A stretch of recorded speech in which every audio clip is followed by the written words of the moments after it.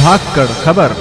बेखौफ ज़ुबान, बेबाक अंदाज। कल सुप्रीम कोर्ट से बड़ा ही एक ऐतिहासिक फैसला आया है, लेकिन आपको मीडिया में वो खबर कहीं नज़र नहीं आ रही है।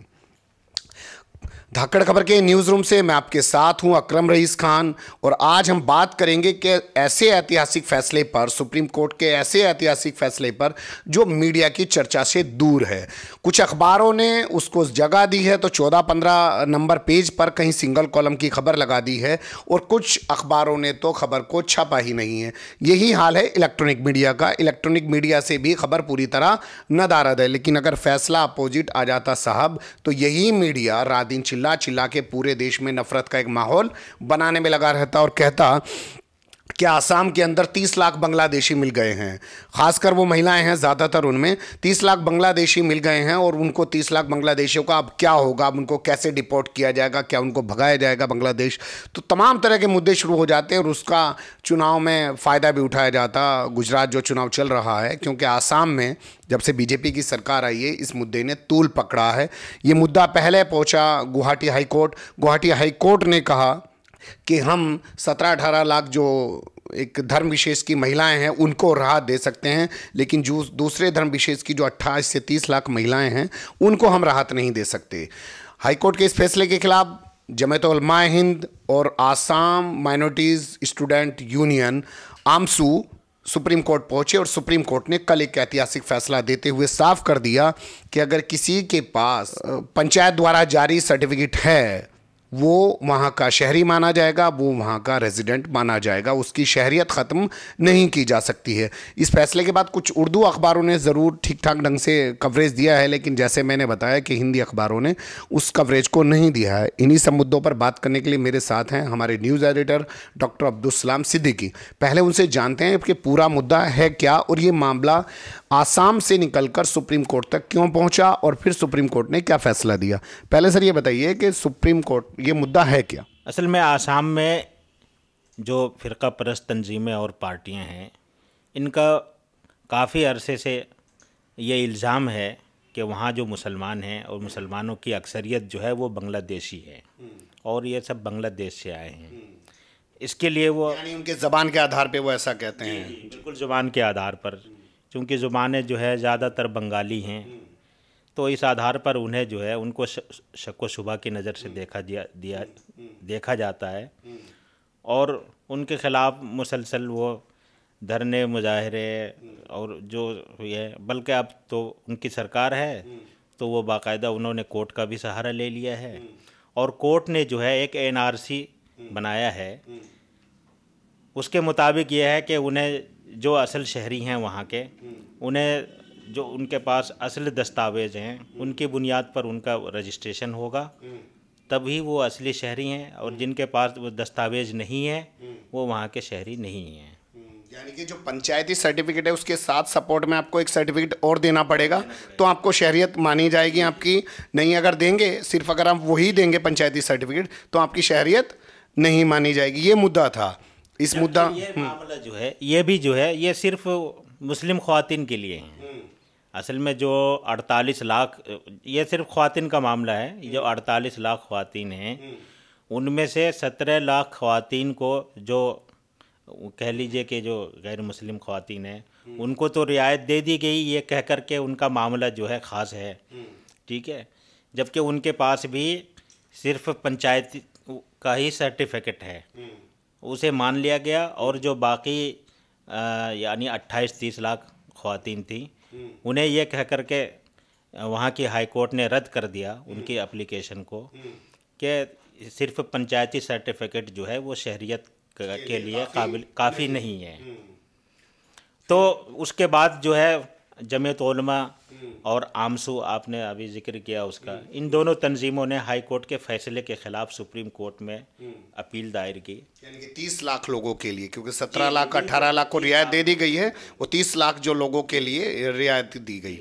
इस बीच में आपको एक चीज़ और बता दें, कुछ रिपोर्ट्स आई थी मीडिया की कि कुछ लोग जो पुलिस में भर्ती रह चुके हैं, आर्मी में भर्ती रह चुके हैं, उनकी भी शहरियत पर सवाल खड़ा हो चुका है, जबकि वो रिटायर हो चुके हैं। तो देखिए किस तरीके का सिस्टम है। एक चीज़ और मीडिया रिपोर्ट्स में आती है, सिद्दीकी साहब।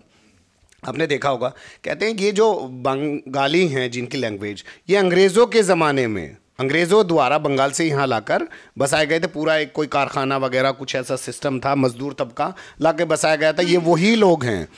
तो खैर, हम बात करते हैं वहीं कि सुप्रीम कोर्ट पहुँचा। तो सुप्रीम कोर्ट में कल क्या हुआ, वो थोड़ा बताइए। सुप्रीम कोर्ट में जो है दो जजों के बेंच ने यह फैसला दिया है कि वो जो तीस लाख ख़वातीन हैं और उनके पास जो पंचायत का सर्टिफिकेट है, वो काबिल कबूल है। शहरियत के लिए काबिल कबूल है और उन्हें एनआरसी में रजिस्ट्रेशन कराने की ज़रूरत नहीं है। बशर्ते कुछ शर्त लगाई है कि उस सर्टिफिकेट के लिए भी थोड़ा? हाँ शर्त लगाई हैं लेकिन ये कुछ अखबार के जो के ज़रिए ही मालूम हो रहा है कि उसमें शर्तें लगाई गई हैं। लेकिन बहुत से अखबारों ने जो ज़्यादातर खबरें लिखी हैं उसमें ऐसी किसी शर्त का ज़िक्र नहीं है कि उन उन्होंने तो साफ़ जो है ये कहा है कि जिनके पास भी पंचायत सर्टिफिकेट है, वो यहाँ का शहरी है और जो एनआरसी का मामला है, वो बिल्कुल अलग है।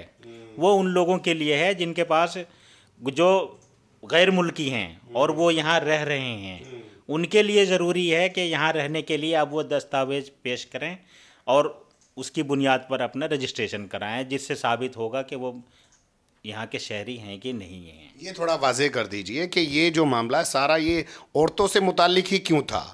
और औरतों को दिक्कत क्यों आ रही थी कि साबित करने में कि हम यहाँ के शहरी हैं या नहीं हैं? बताइए।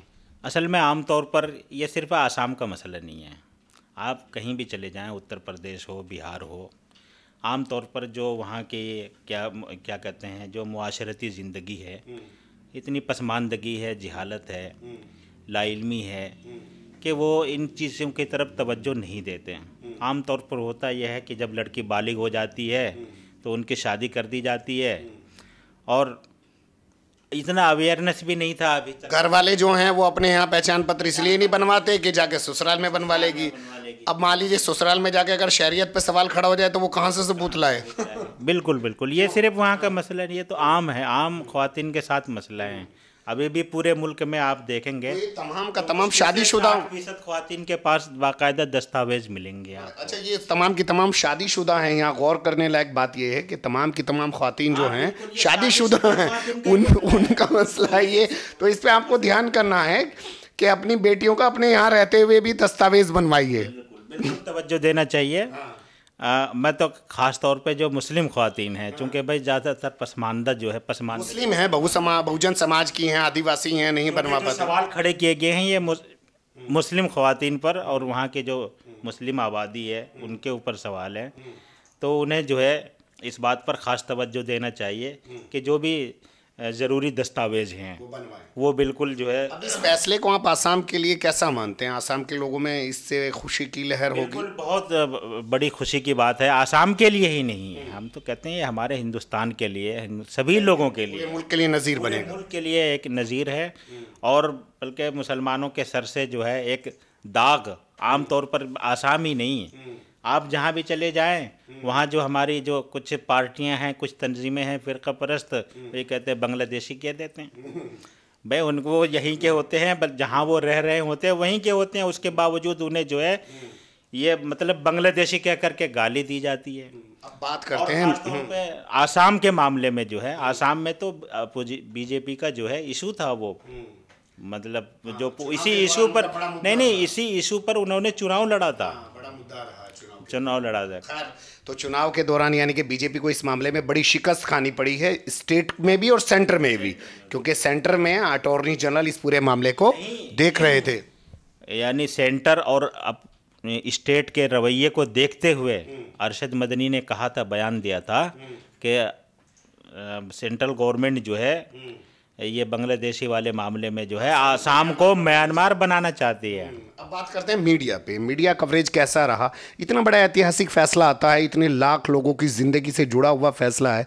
क्या एक मीडिया जिसकी ज़िम्मेदारी है, उस चीज़ को आम जन तक पहुँचाए और उसको लेके बात करे? हम लोग तो बहुत छोटे स्तर पर हैं और बात करने की कोशिश कर रहे हैं। बात करना भी हमको ढंग से आता नहीं है, लेकिन फिर भी एक कोशिश कर रहे हैं। अब आप कुछ बता रहे थे कि मीडिया में आज कैसा कवरेज रहा है, उस पर थोड़ा रोशनी डालिए। हमने जो है उर्दू के कुछ अखबार देखे हैं कुछ हिंदी के अखबार भी देखे हैं। तो उर्दू मीडिया ने तो ठीक ठाक रिपोर्टिंग की है। ठीक है कुछ उर्दू के साइट्स हैं जैसे न्यूज़ एट्टीन का उर्दू साइट है उन्होंने बहुत अच्छी कवरेज की है। लेकिन जो दीगर अखबार हैं इनकलाब वगैरह। हिंदी के। हिंदी के अखबार जो हैं मसलन ये अमर उजाला है। इन्होंने तो बिल्कुल अजीब हेडिंग लगाई है। मैं आपको दिखाता हूँ।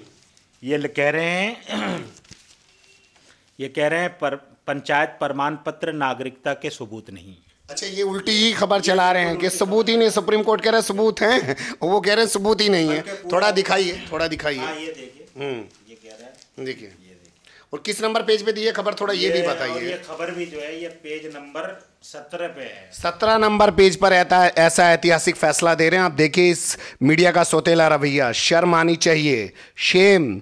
खैर दूसरा अखबार दिखाइए ये अमर उजाला है कहते हैं हम हम क्या नाम है लोकल अखबार हैं क्षेत्रीय अखबार हैं राष्ट्रीय अखबार हैं और ये क्या किस तरह सत्रह नंबर पेज पर एक ऐतिहासिक फैसले को दे रहे हैं। अभी ट्रिपल तलाक पे कोई बात होती तो उसको फ्रंट पेज पे लगा के चला रहे होते क्योंकि अपोजिट चीज़ें जो है ना वो बिकती हैं। खैर दूसरा कौन सा अखबार की आप बात कर रहे थे? तो दूसरे अखबारों की क्या स्थिति रही है?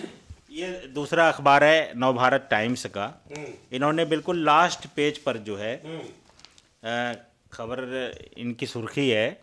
इनकार के तेरह दिन बाद एससी ने कहा नागरिकता के सबूत हैं पंचायती सर्टिफिकेट। देखिए। ये कह रहे हैं कि नागरिकता के सबूत हैं और अमर उजाला कह रहे हैं नागरिकता के सबूत नहीं माना जा सकता। अब खैर देखिए किस तरीके की रिपोर्टिंग ये लोग कर रहे हैं।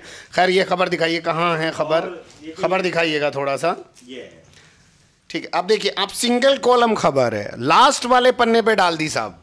ये कि ये मीडिया कवरेज हो रहा है और आप इन लाख पैसों से खरीद के इन अखबारों को पढ़ते हैं। खैर एक अखबार का और कुछ आप ज़िक्र कर रहे थे। हिंदुस्तान। हाँ। इसमें तो कुछ है ही नहीं इसमें ज़िक्र ही नहीं इस खबर अच्छा देखिए हिंदुस्तान अखबार ने तो जगह ही नहीं दी है उसकी नज़र में कोई खबर ही नहीं है। तो किस तरीके का पूरा मीडिया हो गया? और इलेक्ट्रॉनिक मीडिया के बारे में बताऊँ आपको इलेक्ट्रॉनिक मीडिया पे भी ये खबर कहीं नहीं है। इतना तारीखी इतना ऐतिहासिक फैसला और उस पर कोई खबर नहीं है। शेम इस मीडिया को, शर्म आनी चाहिए ऐसे मीडिया को। और बस मैं क्या कहूँ, मैं खुद मीडिया से हूँ।